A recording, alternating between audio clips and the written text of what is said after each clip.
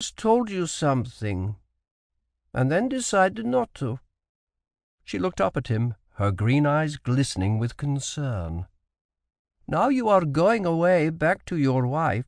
Possibly you will have a child of your own some day, and it may be important for you to know. She looked away across the harbour.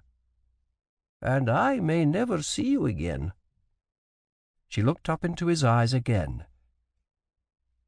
You are Percy's son. Merewether laughed and saw her startled expression. I had come to that conclusion myself last spring, the first time I ever met the man. It does not embarrass me. He did a wrong to my mother, but not to me. I am proud that the blood of Percy runs in my veins. You knew? I was sure, as sure as he can ever be. The woman pondered the thing for a moment, then said wonderingly, Each of you knowing all this time, but neither knowing the other knew. She thought a moment more, and threw back her head to laugh in the tone she had that night on the edge of the pool when she discovered him ready in spite of himself. Merewether, I am now your stepmother, and it is proper that you kiss me. The kiss was not entirely motherly, and it was not until the next day that he discovered the five gold guineas in his jacket pocket. Chapter 33 Merewether stood on the grating at the gangway, waiting for Comet's boat, and watched the proceedings on deck. The boatswain had turned up all hands, the watch below, holders, idlers, and artisans, and turned them too, flushing, scrubbing, and holy stoning the deck to remove the last traces of the sojourn of the horses. He was still snorting and stomping indignantly back and forth, flanked by his mates as they oversaw the task. Merewether chuckled to see the sight, making his way down the ladder. Macrae piped the side and greeted him with full honours. Welcome aboard, Captain. Why, you're scrawny and swart as a gilly. Comet made a fast passage to Bombay Castle, and then lay at anchor three days while a draft of seamen and marines was assembled to transport to Calcutta. Commodore Waldron was expected back momentarily from his reconnaissance of Java, so Rapid should be at Calcutta by now. Merewether improved the time by renewing old acquaintances around the castle and dockyard. It suddenly occurred to him that he had crossed Persia twice, but had never had the time to stop in a bazaar and buy a gift for Caroline. He went over into Bombay and bought a thick rug from Persia, a selection of cashmere shawls, and a few knickknacks of silver, porcelain, and brass, but nothing that pleased him. He was leaving the bazaar when a furtive man accosted him. Sahib, will you buy a gem, cheap? The man looked about, hunched over, and opened his hand slowly almost under his chin. In the cupped palm glittered a green stone, oblong in shape, nearly the size of his fingernail, and cut and polished in the Eastern fashion. Please, Sahib, only ten of your pounds. Is it stolen? Oh, no, Sahib, said the man, rolling his eyes and then looking about again. Either it was glass or stolen, or both, Merewether concluded, starting to pass on. He heard coins jingle and remembered the five guineas Madame Saltheda had deposited in his pocket to regain her amateur standing as she kissed him good-bye. On an impulse, he fished them out, displaying them to the man. I'll give five guineas, and if it's glass or stolen, I will find you. The man looked about once more, then snatched the coins, dropped the stone in his hand, and scuttled off between two stalls. It looked genuine enough, felt heavy, and sparkled in the sunlight. It might be anything glass, jade, agate, or some other variety of semi precious stone, but it was a pretty bauble. He went back to the shop of the goldsmith he had seen and commissioned him to make a ring for the stone. The goldsmith held the stone to the light, then weighed it in his delicate balance scale. Almost six carats, sahib. and about as good a colour as I've seen in an emerald this year. Merewether looked about himself in some apprehension lest the true owner should come up shouting thief. He waited, still feeling conspicuous as the man fashioned a graceful ring with his tools and charcoal forge, then mounted the stone. Back in Comet, he looked at the ring again and thought of the curious train of events that had culminated in this beautiful gift for Caroline. Last summer, Flora Dean had aroused him to passion, then sent him away.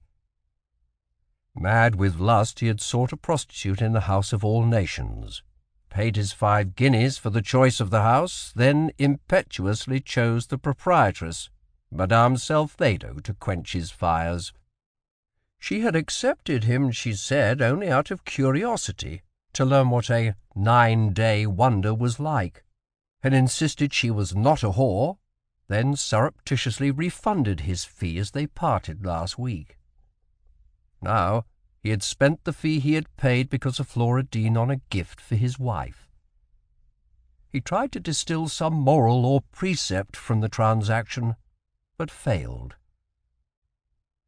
It was a magnificent bit of jewellery, he decided, putting it back in its box. Comet weighed anchor the next day, and as she dropped the pilot, Viper was hove to half a mile away, waiting to take him on board. Through the glass he could see Percy sitting in a canvas chair on the quarterdeck, Sally by his side. He waved to them, but they evidently could not see him as the two ships drew apart. They were an oddly assorted pair, he thought. A harem girl and a Percy going home, crippled now to live quietly in that proper place. He hoped that no loud-mouthed nabob would hurt the woman. Percy loved her, and she apparently Percy, and he wished them good fortune. It was a long, hard beat to windward almost all the way against the northeast monsoon, and they sailed eastward to within sight of Sumatra before going about for the run to the Hooghly. With no duties to occupy him, Merewether turned to reconstructing a journal of his service in the Marine the past nine years. Some dates and events were now hazy, but it might amuse Caroline. Comet came to anchor at dusk off the Sandheads, with Christmas only a week away. There was no pilot boat on station, and they waited until noon the next day before the pilot came aboard. Two days later, they came to anchor off the dockyard. There was a familiar ship anchored upstream, but her yards and upper masts had been sent down. The standing rigging looked frayed, weathered almost white, and her paint was worn dull and lustreless. Rapid must have endured an arduous service since he left her off Mauritius eight months ago, and a lump almost rose in his throat to see her now. Merewether was the only person to disembark from Comet that night, it was past liberty hours for the crew in Calcutta, and none of her officers had their families there.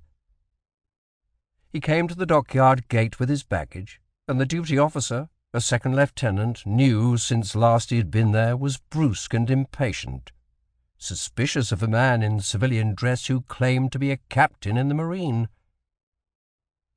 The Tonga was not available, and he finally found a porter with a barrow large enough to transport his chests. They came at last to the lodgings Caroline had taken, half a bungalow, the other half occupied by an elderly widow and her spinster daughter. The entrance was at the side of the house, and as they went along the brick wall he could see yellow lamplight through chinks in the blinds. The door was latched, and he had to knock as the porter stood behind him. "'Who is it?' "'Your husband,' The door swung open and Caroline stood against the lamplight. There was something different about her, but he did not hesitate as he stepped across the threshold to gather her in his arms. Three hours later, he ducked under the mosquito net and slid beneath the sheet in their bed. Almost by the time he had entered, the old widow and her daughter had come anxiously inquiring as to the commotion made as the porter brought in the baggage. Merewether had had to be introduced, and then a bit of claret brought out as a reward for their concern. When they departed, he had seen them around the house to their door. When he returned, he found Caroline in tears.